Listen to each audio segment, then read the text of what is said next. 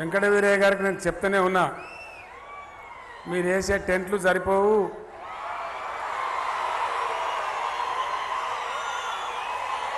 ఇప్పుడు ఈ-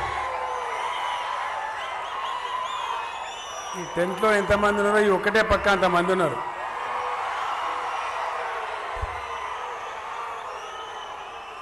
ఒక విషయంలో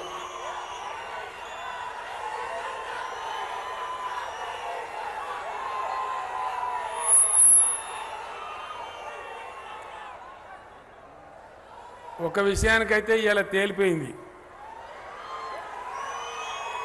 సత్తుపల్లి నియోజకవర్గంలో మీ అందరి ఆశీస్సులతో వెంకట వీరయ్య గారు కనీసం డెబ్బై ఎనభై వేల మేటతో గెలిచిపోతారు అనేది చాలా క్లియర్గా అర్థమైపోతూ ఉంది.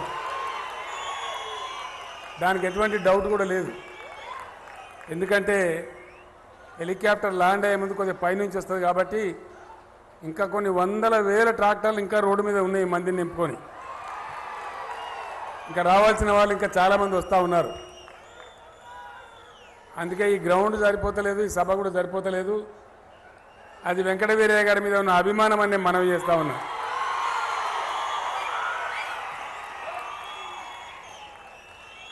కొద్దిగా సీటీలు కొట్టుడు బంద్ చేయాలి తమ్ముడు. సీటీ సీటీ కొట్టద్దు. ఈల ఈల అయ్యేద్దండి దయచేసి.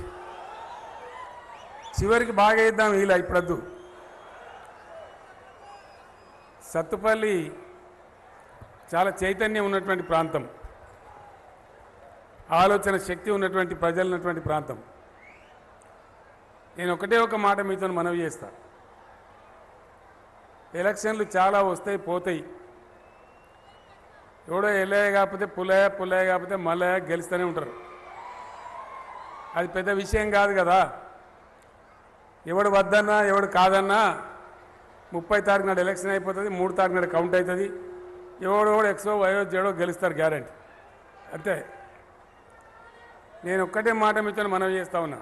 ప్లీజ్ ప్లీజ్ తమ్ముడు మీరు కార్యకర్తలు డిస్టర్బ్ చేయదు ఆవేశం అంతా లాస్ట్లో. ఎందుకంటే మనం ఆలోచన కూడా చేయాలి కదా. ఆలోచన చేయకనే ఈ గతి ఉన్నది భారతదేశం. మీ అందరితో నేను కోరేది ఏంటంటే ఎన్నికలలో ఏం జరుగుతుందంటే ఇప్పుడు సన్న వెంకట వీరయ్య గారు బీఆర్ఎస్ నిల్చున్నారు. ఎవరో ఒక ఆయన కాంగ్రెస్ ఉంటాడు ఇంకొక ఆయన బీజేపీ ఉంటాడు. ఉంటే బహుశా ఇంకెవడైనా లేనో పులేని ఉంటే ఉండవచ్చు. ఈ వ్యక్తులను కూడా చూడాలి. వీళ్ళ చరిత్ర ఏంది వీళ్ళ అనుభవం ఏంది వీళ్ళ కార్యదక్షత ఏంది అనేది చూడాలి ఒకటి. దీన్ని మించి వీళ్ళని గెలిపించడం ద్వారా ఏం జరుగుతుంది? రాష్ట్రంలో ప్రభుత్వం ఏర్పడుతుంది. కాబట్టి వీళ్ళ వెనుక ఏ పార్టీ ఉన్నది ఆ పార్టీ చరిత్ర ఏంది ఆ పార్టీ వైఖరి ఏంది ఆ పార్టీ యొక్క దృక్పథం ఏంది ప్రజల గురించి ఆ పార్టీ ఏది ఏ పద్ధతిలో ఆలోచిస్తున్నది అనేది దయచేసి ప్రజలు గమనించాలి. ఎవడో చెప్పిండని ఓటేయడం కరెక్ట్ కాదు. మా కులం వాడు నిలిచినడని ఓటు వేయడం కూడా కరెక్ట్ కాదు. ఓ కులాన్ని ద్వేషించడం కూడా కరెక్ట్ కాదు. ఎప్పటిదాకైతే ప్రజలు తమ సొంత విచక్షణతోని నిజానిజాల గురించి నిలబడి ఆలోచించి ఓటు వేయడం జరగదో అప్పటిదాకా ప్రజాస్వామ్యానికి పరిణతి రాదు రాదు రాదు అనే మనం చేస్తా ఉంది. డెమోక్రటిక్ మెచ్యూరిటీ ప్రజాస్వామ్యంలో పరిణతి ఏ దేశంలో ఏ సమాజంలో వచ్చిందో అక్కడ చాలా అద్భుతాలు జరుగుతూ ఉన్నాయి. బ్రహ్మాండమైన ఫలితాలు వస్తూ ఉన్నాయి. ఆ చైతన్యం మన దేశంలో కూడా రావాలి. ఒకటే ఒక మాట చెప్తాను.